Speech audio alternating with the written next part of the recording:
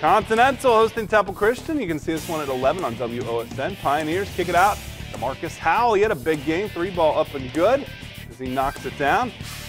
Continental with an answer. Connor Olds jumper gets the Pirates on the board here. Freshman showing some good range. Other end, Michael Breston loses it, gets it back, and then puts it home. Pioneers lead 5 to 2 on the road. Later on in the first, another look for Howell.